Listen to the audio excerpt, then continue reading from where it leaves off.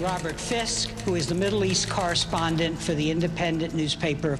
He holds more British and international journalism awards than any other foreign correspondent.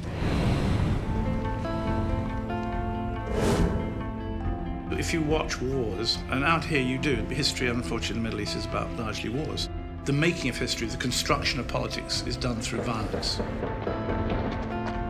Back over here, I think. Round this way, so we've got to wait out. The old ideas of journalism that you've got to be neutral and take nobody's side is rubbish. As a journalist, you've got to be neutral and unbiased on the side of those who suffer.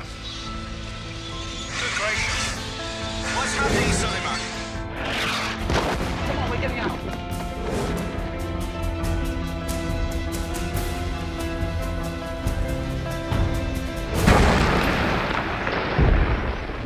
That's an explosion.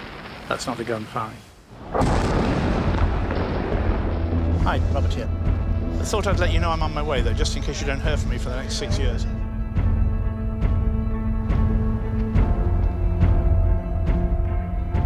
I'm a journalist and my job is to tell the truth.